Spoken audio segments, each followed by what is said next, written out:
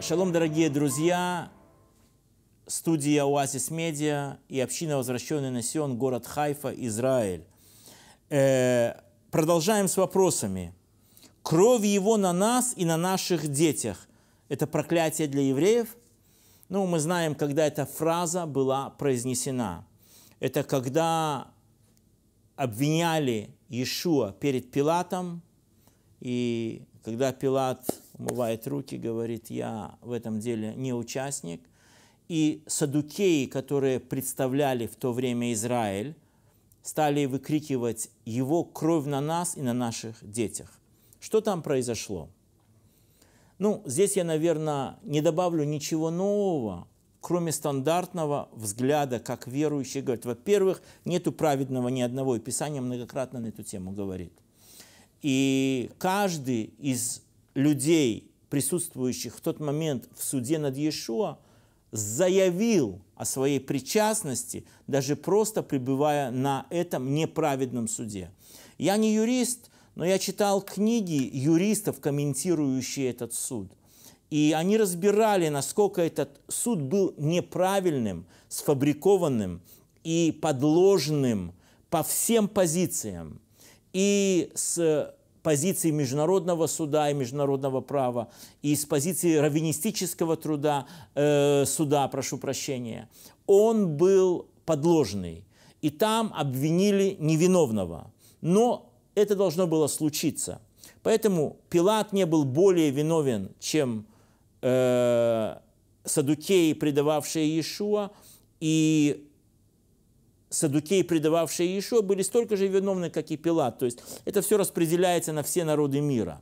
Но все-таки в данном случае мы видим, что не совсем фарисеи или другие представители иудаизма в Израиле предавали Иешуа на суд, а именно верхушка, аристократия – так называемые в то время аристократы-садукеи, некоторые считают, что это были многие из них лже-садукеями, настоящими садукеями, или бней-цадок. Это были те, которые жили в Кумранах, например, э, Захария, один из них, отец Иоанна Крестителя. Но это другая тема для разбора. А те садукеи – это было уже сформированная, коррумпированная священническая верхушка, которая имела отличное положение во всех отношениях. И позиция, и власть, и финансы. Они умели договариваться с римлянами. И им никакие новые идеи не нужны были. Мы помним позднее, когда апостол Павел предстал на суд фарисеев и садукеев вместе, то фарисеи оправдывали Павла, говорили, мы не видим в этом человеке ничего особенного. То есть мы видим, что здесь верхушка, аристократы сказали, нам не угоден этот проповедник, и если уж так, то кровь его и на наших детях. Знаете что? В определенной мере они не отвечают за весь народ, а в определенной мере, да, отвечают за весь народ.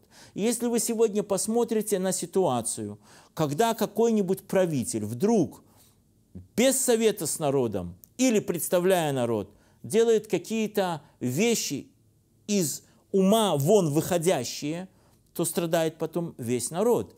Если правитель высокого уровня чин делает глупую экономическую политику, то страдает весь народ. Поэтому, с одной стороны, это был грех только верхушки – но с другой стороны, проблемы распятия Машеха рикошетом сработали на весь еврейский народ, потому что большие люди подставили всех остальных. Но это не отменяет прощение благодати, любви Божией. И не отменяет слов, которые сказал, к примеру, благочестивый муж Симеон, когда взял младенца на руки и сказал, «Сей лежит он вызовет много конфликтов, но сей лежит, чтобы восстановить славу народа своего Израиля. И здесь я хочу сделать даже ударение, что приход Мессии это был прежде всего не для спасения всего мира. Еще сам сказал, я пришел к погибшим, к заблудшим, или в другом случае к больным овцам дома Израилева, чтобы исцелить. Поэтому, если его приход и все вещи вокруг случающие закрывают дверь для благословения Израиля, то зачем ты тогда вообще приходил? Нет, это не так. Естественно, вот эти слова рикошетом сработали на народ, когда садукеи сказали «кровь на нас и на наших детях».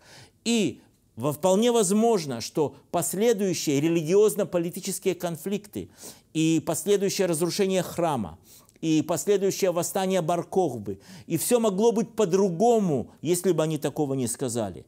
Но они сказали, и рикошет сработал. Но говорить, что евреи прокляты из-за этих слов, это не совсем правильно. Это говорит лишь о том, что мы все – виновны в распятии, но для того и пришел Сын Божий. Как написано, так возлюбил Бог мир, что грехи всех возложил на Него.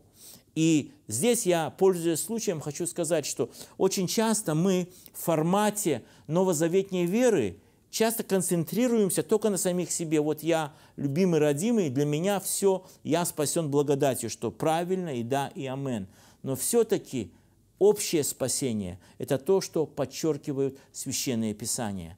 И я хотел бы ободрить вас не забывать об этом, молясь о себе, неважно из какого вы народа, племени, еврейского или нееврейского, призывая Господа Бога и жертву Машеха для покрытия греха, для расторжения любого проклятия и для того, чтобы весь мир спасся. Об этом Писание, об этом Новый Завет, об этом пророки, об этом апостолы, я прошу, говорит Павел, чтобы вы молились за всех. Иешуа говорит, я пришел, чтобы спасти этот мир. Пророки говорят, он был умерщвлен за грехи наши и мучим за беззаконие наши. Ранами Его мы исцелились. То есть мы можем по-разному рассматривать вопросы падающего или передающегося, или рикошетного проклятия, но нам важнее смотреть на ту благодать, которую подает нам Бог в Иешуа.